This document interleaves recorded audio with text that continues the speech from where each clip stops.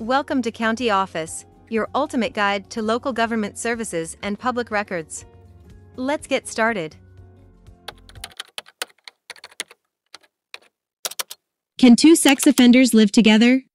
Living arrangements can be complicated, especially when it comes to sex offenders. So, can two sex offenders live together? Let's find out. According to the law, sex offenders can live together as long as they follow certain guidelines. These guidelines vary depending on the jurisdiction, but they generally include things like notifying law enforcement, obtaining permission, and adhering to residency restrictions. The first step for sex offenders wanting to live together is to check their local laws and regulations. Each state has its own rules, so it's important to know what applies to your specific situation.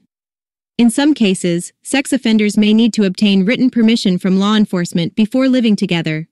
This ensures that they are aware of the living arrangement and can monitor it accordingly. Residency restrictions are another important factor to consider. Many jurisdictions have laws that prohibit sex offenders from living near places where children gather, such as schools, parks, or daycare centers. These restrictions may apply to both individual sex offenders and the collective living arrangement.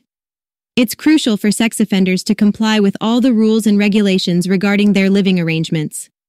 Failure to do so can result in legal consequences and potential violations of parole or probation. Remember, the laws surrounding sex offenders and their living arrangements can be complex. It's always best to consult with legal professionals or local law enforcement to ensure compliance with all applicable regulations. So, can two sex offenders live together? Yes, they can, as long as they follow the guidelines set by their local jurisdiction. It's important to understand and abide by these rules to avoid any legal issues. To learn more, check out these links which you can click in the description below, and feel free to comment your questions. We're here to help. Thanks for tuning in to our video.